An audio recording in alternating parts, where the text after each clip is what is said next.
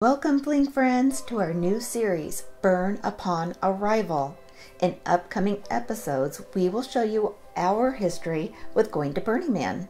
Also, that we've created a large scale entertainment camp, as well as some tips and hacks and suggestions, so that if you decide to venture out onto the playa, you might be a little bit more informed. Another reason for this video series is due to our current socio-economical environment.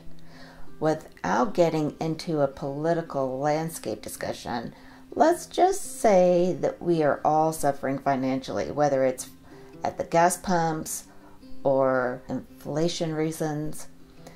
These episodes will give us the ability to continue to create content for you to enjoy.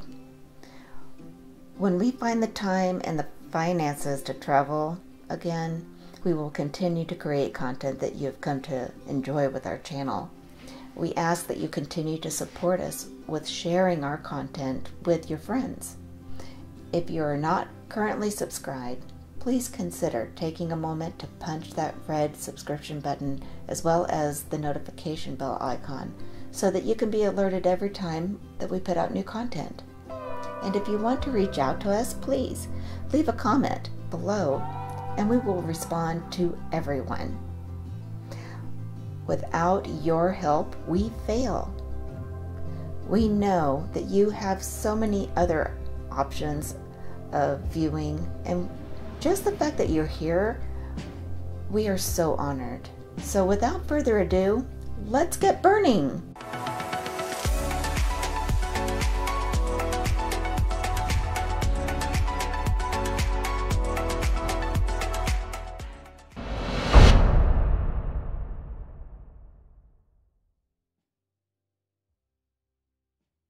What is Burning Man?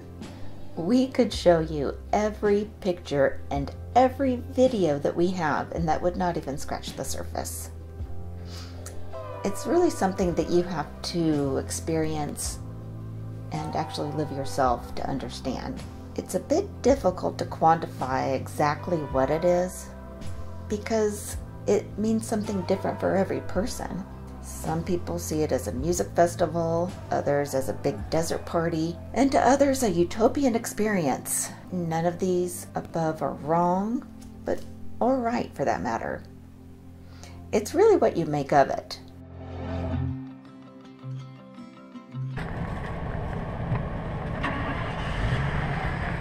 We are waiting in line for gas.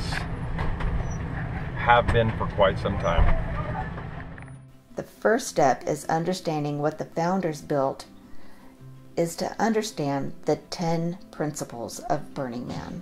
The 10 principles aren't a mantra or a law or anything aside from common sense guidelines of, of being a good person in the world.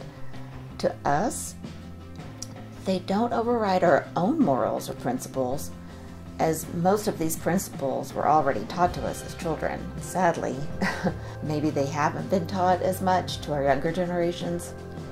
So throughout this video series, we will go over each of the principles as it pertains to our own experiences. Scott and I have been involved in the music industry off and on for a couple of decades or more. Over those years, we've had many friends and acquaintances invite us to Burning Man and say, oh, you know, you'd love it. But we never really had the opportunity until 2014. That was our first year to be able to go. We had purchased a low mileage 31 foot RV that we gutted and completely rebuilt the interior in about a three month period of time. And when I say we gutted and rebuilt, of course, I mean Scott, that amazing guy, rebuilt this RV in such a short period of time, and I did have a help with the decorating. One thing that if you don't already know about Scott is that he is a planner and a master preparer. If we ever start anything new, he explores every detail of it finding out everything about it before we take our first step towards it. So, with that said, we watched all the videos we could about Burning Man. We got on chat groups and talked to people, and we wanted to know all of the principles and learned all the we wanted to know all the lingo and the culture around the event before we went. We also had the great advantage of having a good friend whose name, well, her name is Candace, but her nickname is Echo. And she came with us and was our Playa, Playa Sherpa. We didn't realize it, but that ended up making us what's called ninja burners. Now, we are not going to go into the history of the event, as there are numerous videos that you can find on the subject. We want to help share our understanding of the event, so we're going to focus on our history with it. So, in 2014 was our first year there. There were approximately 65,000 people that arrived in Black Rock City, and that makes it the third largest Nevada city for that one week in the year. We arrived on a Sunday, which proved to be a very fortunate move on our part because the very next day there was an early morning rain that hit the city and it closed down everything because it's it's well it was a, it's a dry uh, salt lake bed and then you add water and it just becomes a muddy mess. And there were thousands of people stranded at the gates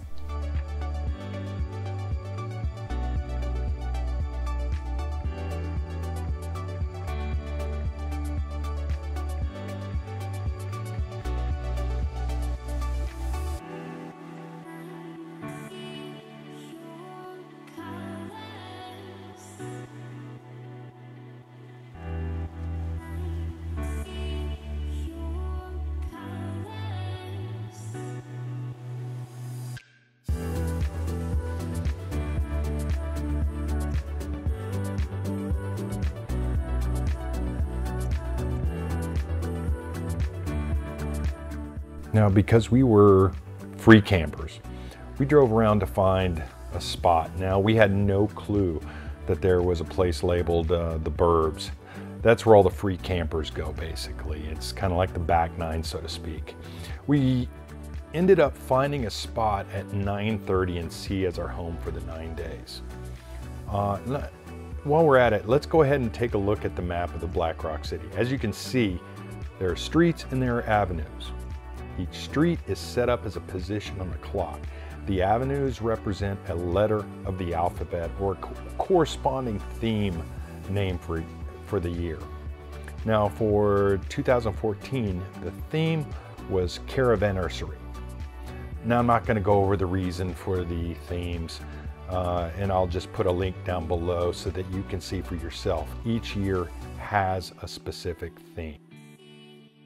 As you can see, in our videos and photos, there is so much to see. We were there a total of nine days, and in that time, we slept a total of about 19 hours.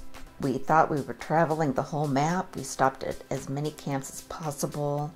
We climbed and admired as much art as we could find. And then when we got back, we started to watch other videos that we didn't even come close to seeing everything that was out there. I'm going to, or at least try to give you a just a snapshot of what we experienced. One of the first things that stood out to us was the hospitality that the other participants showed us uh, upon arrival. Even if it was just for a week, it is refreshing to be around that kind of energy. Secondly, the creativity of those that not only create the artwork, the music, the food, but those who attend the event.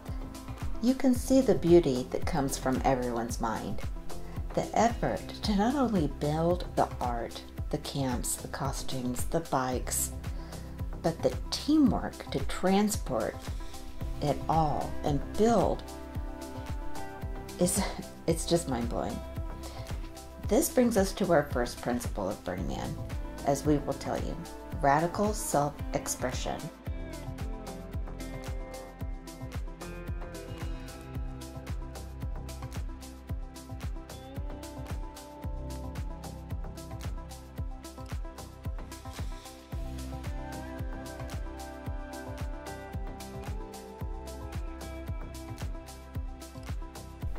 Some things that take a little getting used to is the absolute 24 7 activity.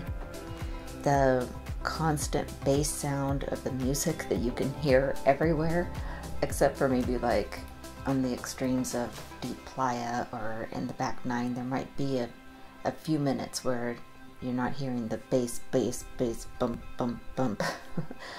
um, it may seem like a nightmare to some people, but it actually turns into kind of like a white noise after a few days. The heat during the day can also be stifling at times. Also, the chilly nights, it can fall into the 30s at night. But all in all, you just got to be prepared for everything, right? Now, the alkaline powder or dust, it gets into every crack on the human body. Me being a kind of a clean freak, that really bothered me for the first few days and I was had baby wipes everywhere and I was just trying to wipe myself off with baby wipes all day every day. But after about 3 days it just like I don't know, it didn't bother me anymore. What you don't get used to, or what we never got used to, was the wind. It's not always bad, but when it's bad, it's really bad.